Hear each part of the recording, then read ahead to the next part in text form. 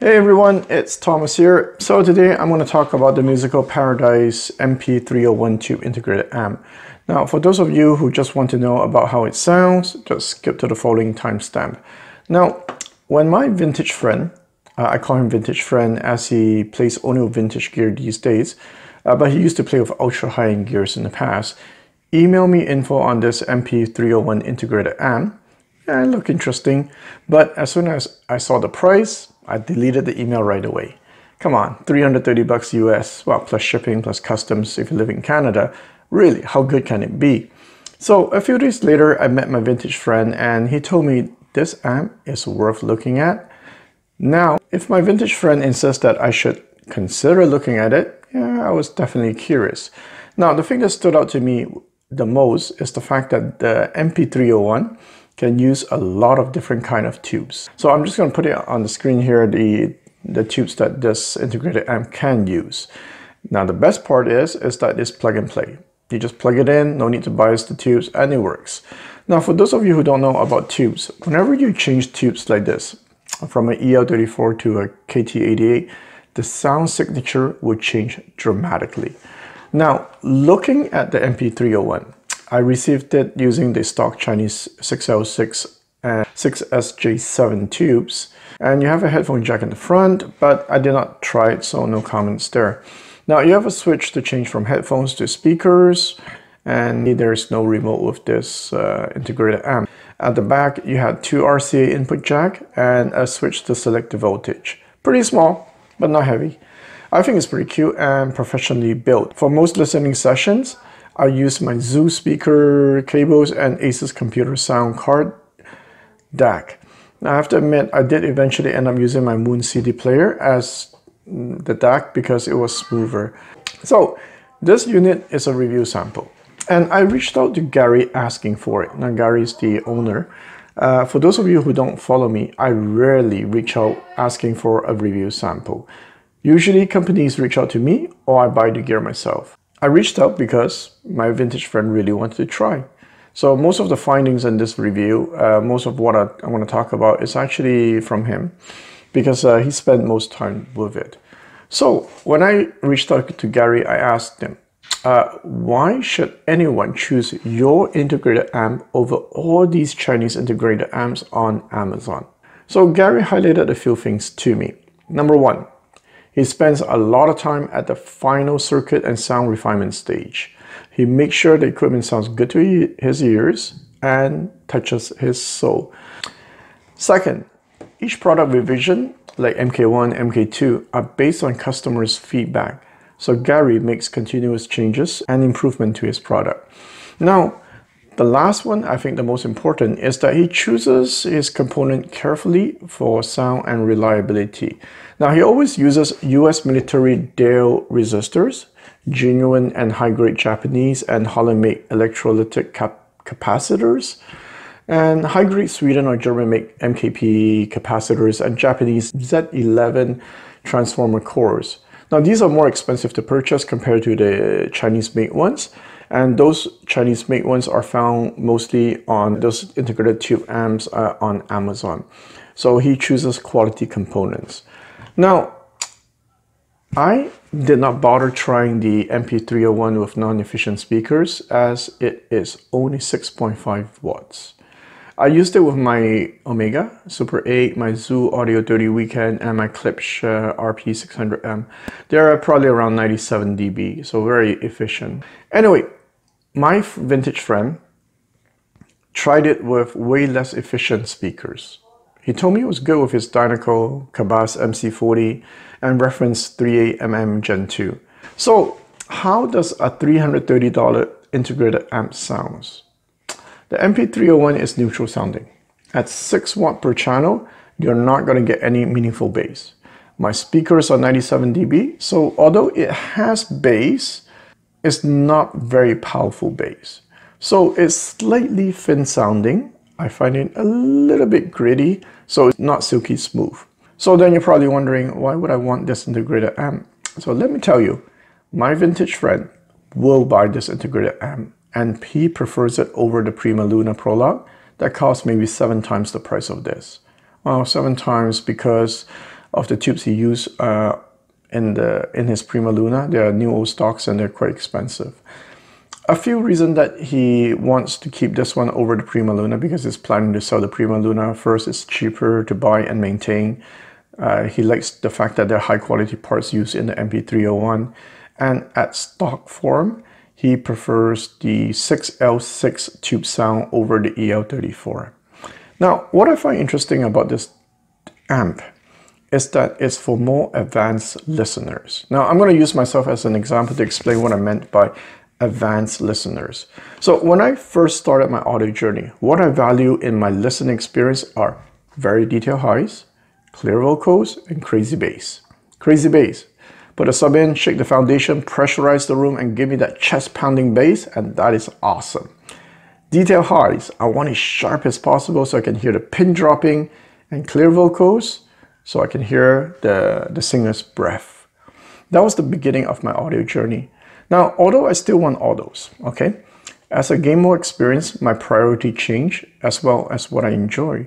So what changed? I start paying attention to soundstage, wide and holographic soundstage, and I, I need air in my soundstage.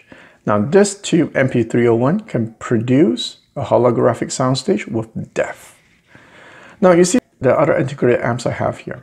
Okay, they're solid state. The Sprout 100, the Atoll 30, the Iota VX, none of them can create the same experience, a deep holographic soundstage with air. No, sure, I mean, the, the solid state integrated amp here can create soundstage with depth, but not at the same level as the MP301. Not even my, uh, the Yaqin or Yachin, I don't know how to pronounce it, tube integrated amp that I had before can do it. Now the Prima Luna can though. It can create a deep holographic soundstage. So let's talk about details now, okay? What is detail? For me, if a system is detail sounding, it means that it requires you no effort to hear all the, the nuances. You see, all the information in the track is always there. If you listen to a high-end system, the difference is that with a high-end system, it requires you little effort to hear those little details. But once you hear that detail in the high-end system, and even if you go to a budget system, you will still hear the same details because you're aware of it now, but it requires you more concentration to hear it.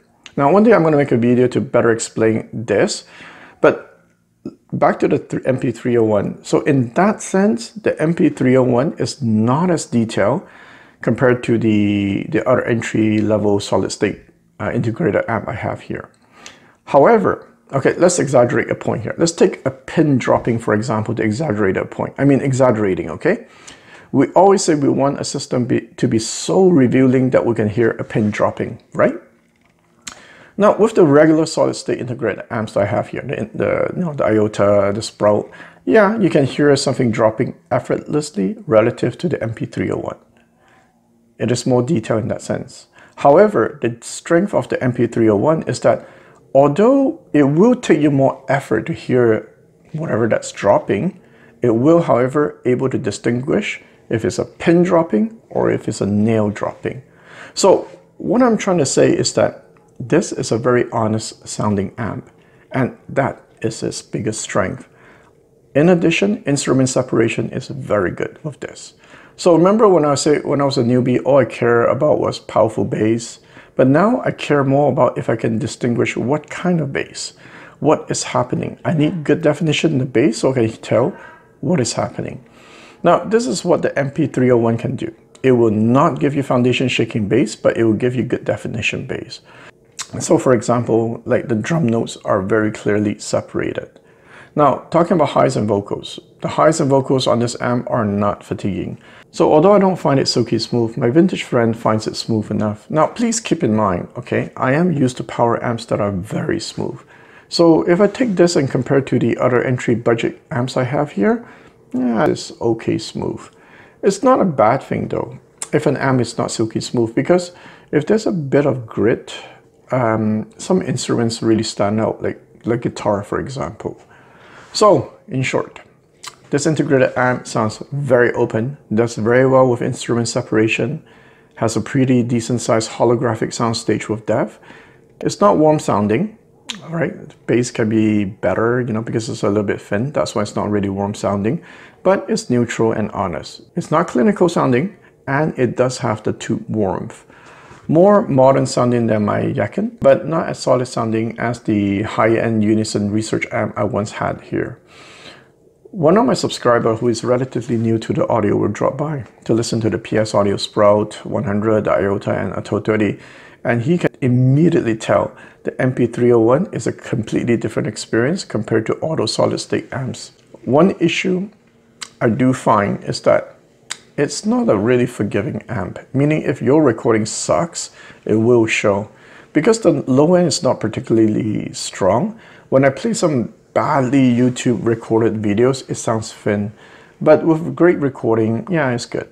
So, tube rolling. Now, although I can do a, some tube rolling with it, I did not, I did not try. I used mostly the stock S6L6 uh, tube, and it was fine. Um, sure, when I switched to the USA Bogen 6L6 tubes, it sounded better. But because the tube sockets are really tight and hard to change tubes, uh, I did not bother trying different tubes because I, was worried I'll you know damage it. Uh, I, I, like the fact that it uses 6L6 tubes because I've heard a few amps of EL34 already and I wanted something different. Now at my vintage uh, friend's place, I noticed the speakers disappear easily with this amp. Sounded very engaging, has a slight vintage flavor because he only uses vintage uh, speakers. Uh, this is not true for all the amps. When I brought over my other integrated amps, the entry-level ones, it lacks the, the vintage warmth. So when I play the MP301 with the newer speakers at my home, I do lose the vintage flavor, but it's not completely the new analytical sound. So it's an integrated sound somewhere so it sounds somewhere between the old tube sound and the new tube sound. Now, for those of you who don't know what I'm talking about, right, old tube, new tube sound, check out my Prima Luna integrated uh, amp video where I explain more, you know, what, what I consider old tube sound and new tube sound. So I'm gonna close the video now. Now, this is a product I find is priced weirdly. Now, it's priced as an entry-level gear, I mean, 300 something bucks US, but it's not aimed at beginner level audiophile. Audiophiles whom I met who is at the stage where they're prioritizing soundstage, honesty, instrument separation, usually don't look at entry-level gears. But here, I have a little budget integrated amp that's pretty good at exactly that. What I do know as of now, okay? As long as you don't play at high volume. Important, okay? Uh, what I do get loud, but I never cross 9 or 10 o'clock on my volume knob. You don't play bass heavy music, and you are not in search of the ultimate resolution and smoothness then this could be for you if you value instrument separation on a sound neuroproduction and a nice airy holographic soundstage with depth. In that sense, it's better than my uh, solid state entry level integrated amp. Now I have good success as I mentioned with the Klipsch Zu and the Omega. You know, maybe after this review, I'll, I'll test it with the ELACs and uh, I'll put in put it in the comment section if I do. Um, but guys, seriously, man, 300 bucks, well, 400 bucks with the shipping. Um, this is quite something. You know, we really live in a world where, you know, you don't have to pay a lot to get amazing sound. Now, my, as I mentioned, my vintage friend will buy this unit. Um, I have here, so this should give you an idea how much he likes it. Now, my advice is this. If you're just starting out in audio, okay, you're a beginner, uh, look at the other solid state integrated amps that I'm going to talk about, like the IOTA VX, the Atoll 30, the Sprout 100. I think those are great for you know for the for, for beginners, okay? But if you feel like you're ready for the next step in your audio journey and you never tried tubes, then this is a very good entry point. It'll give you that experience what this holographic soundstage that I've been preaching about. And if you already tried many tube gears and you're very familiar with what tubes can do, maybe look at their high-end products uh, from Musical Paradise. I've not tried them myself, but you know, if Gary designed these with the same passion as he did with the MP301, then it should be pretty good. So uh, I think that's uh, that's about it, guys. So uh, very interesting uh, integrated amp. Uh, a lot of fun with it. I spent many days listening to it, and yeah, till next time.